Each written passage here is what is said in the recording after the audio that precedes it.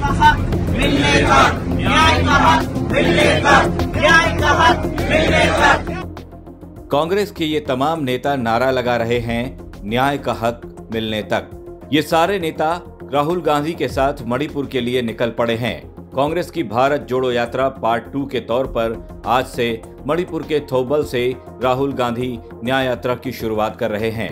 राहुल गांधी का साथ देने के लिए कांग्रेस के तमाम नेताओं के साथ ही राजस्थान के पूर्व सीएम अशोक गहलोत, पूर्व deputy CM Sachin Pilot, PCC chief Govind Singh Dotasara और पूर्व मंत्री महेंद्रजीत सिंह मालवीय भी मणिपुर के लिए निकल पड़े हैं।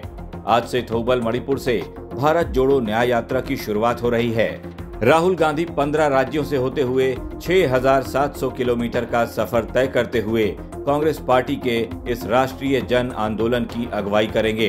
राहुल के मुताबिक किसान मजदूर दलित आदिवासी पिछड़े वर्ग छोटे व्यापारी दुकानदार महिला पूर्व सैनिक खिलाड़ी शिक्षक आशा वर्कर आंगनवाड़ी समूह समेत तमाम समाज के हर वर्ग से यात्रा संवाद करेगी। इस बार राहुल गांधी पूर्व से पश्चिम तक एक और यात्रा की शुरुआत कर रहे हैं, क्योंकि वो उत्तर से दक्षिण तक की यात्रा पहले ही पूरी कर चुके हैं। कांग्रेस के पूर्व अध्यक्ष और केरल के वायनाड से सांसद राहुल गांधी फिर से भारत जोड़ो यात्रा पर निकल रहे हैं। हालाँकि इस यात्रा का नाम भारत जोड़ो न्याय यात्रा रखा गया है। मणिपुर से शुरू होकर महाराष्ट्र तक जाने वाली ये न्याय यात्रा सड़सठ दिनों में देश के पंद्रह राज्यों से होकर गुजरेगी। यात्रा 110 जिलों को भी कवर करेगी। इस दौरान करीब 100 लोकसभा क्षेत्रों को भी कवर किया जाएगा। राहुल गांधी की यात्रा ज़्यादातर बस से होगी, लेकिन कहीं कहीं पर पैदल यात्रा भी होगी। भारत जोड़ो न्याय यात्रा मणिपुर, नागालैंड, अरुणाचल प्रदेश, असम, मेघालय, पश्चिम बंगाल, बिहार, झारखंड, ओडिशा, छत्तीसगढ़, उत्तर प्रदेश, मध्य प्रदेश, राजस्थान और गुजरात महाराष्ट्र से होकर गुजरेगी।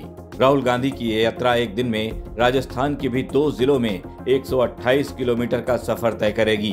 भारत जोड़ो पार्ट टू, यानी कांग्रेस की न्याय यात्रा को सफल बनाने के लिए अब देश भर के तमाम कांग्रेस के नेता और कार्यकर्ता कमर कस चुके हैं। आने वाले वक्त में लोकसभा के चुनाव भी होने हैं। ऐसे में राहुल गांधी की ये न्याय यात्रा कई प्रदेशों में कांग्रेस के लिए फ़ायदेमंद भी साबित हो सकती है। ब्यूरो रिपोर्ट, राजस्थान तक।